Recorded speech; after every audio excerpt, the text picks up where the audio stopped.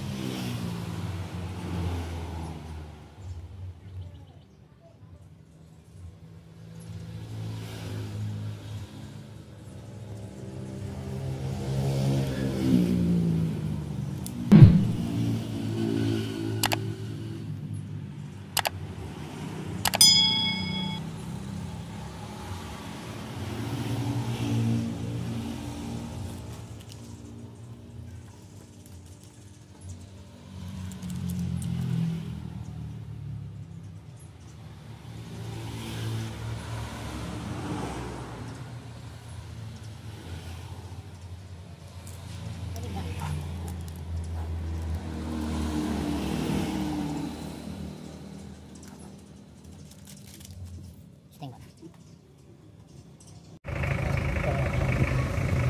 Mantul.